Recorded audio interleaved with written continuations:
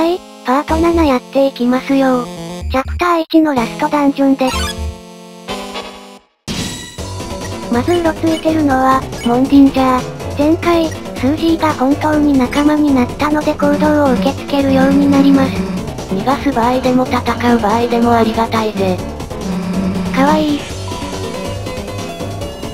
ここ緩急をつけてくるので注意して誘導しましょう。感情凍結。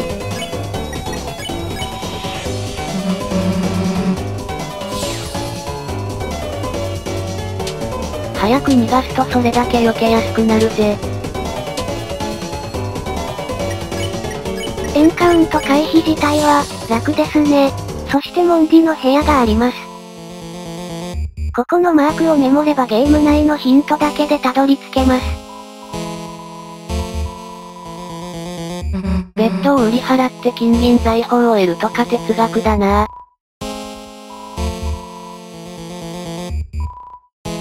トラップ自体は、そんなに難易度も高くないです。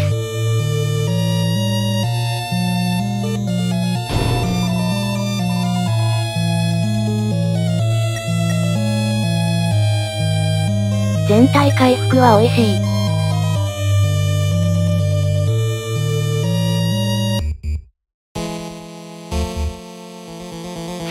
やってきました。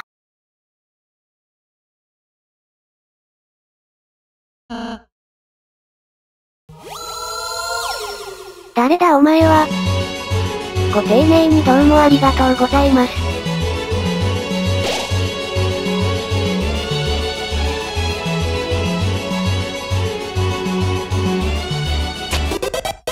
恐ろしいパズルだったな悪い奴じゃないと思う。カット。こっちも上位的な存在。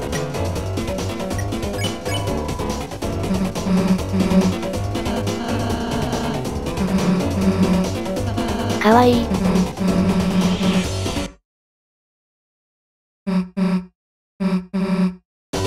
ポーズが好き。結果オーライですね。なーに被弾してるんですかね。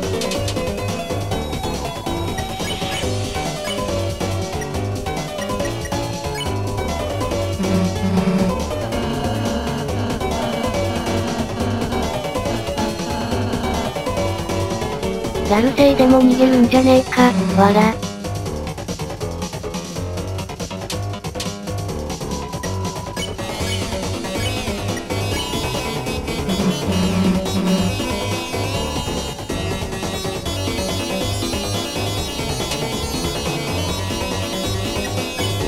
がわからないのか。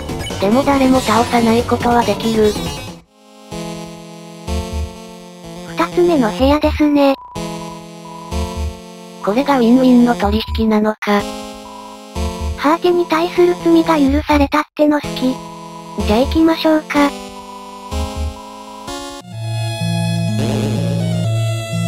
とりあえずスイッチを押していく。遅かったない。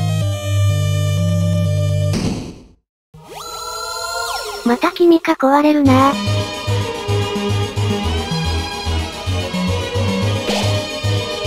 サンズ兄貴に習って何もしない、扇やればいいんじゃないんですかね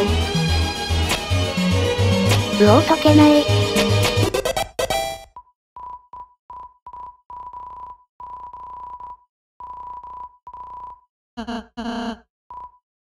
かわいい。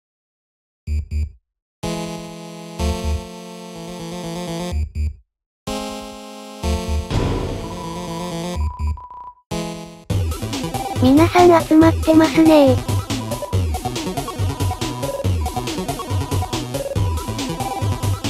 ここ倒していくとダークナーが減りそう。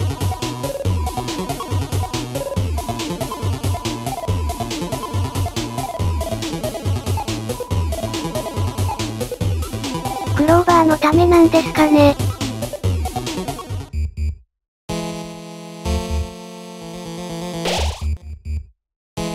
最後の休憩所的な。またいたのか壊れるな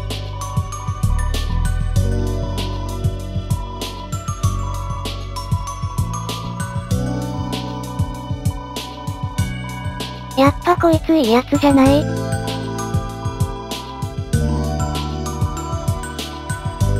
人材不足なんすね。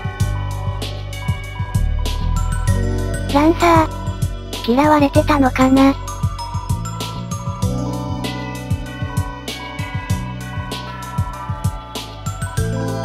気を使ってるあたり、やっぱノーカードもランサーもいいやつ。ここで適当に装備を整えていきます。最後のところかなランサールーム。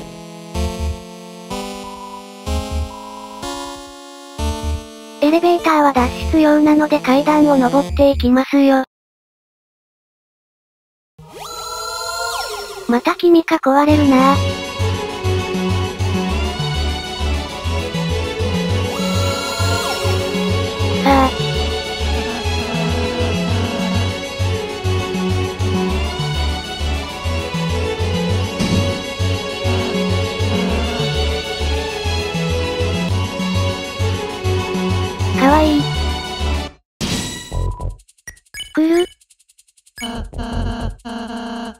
前回はただお辞儀しただけだけど、今回はもうちょっとアクション要素が追加されます。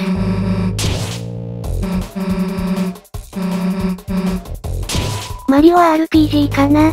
これはちょっと高めにしてから王冠をかすめるように投げるとぐらつき度が高まるぜ。さっきのは失敗。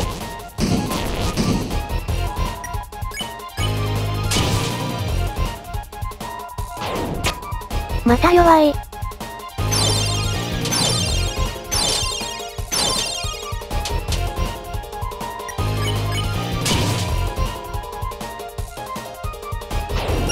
これこれ。これ避けにくい。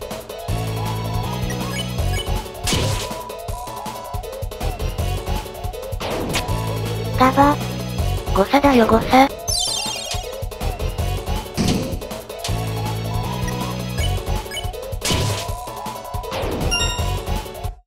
キルですね。結果的に数字兄貴姉貴の協力のおかげで前回より楽に感じたぜ。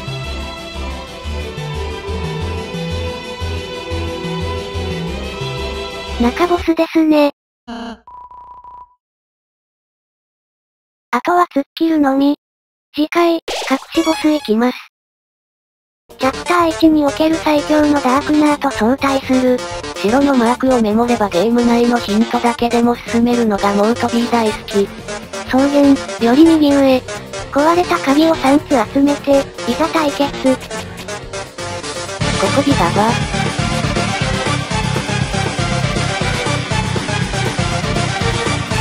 うっし。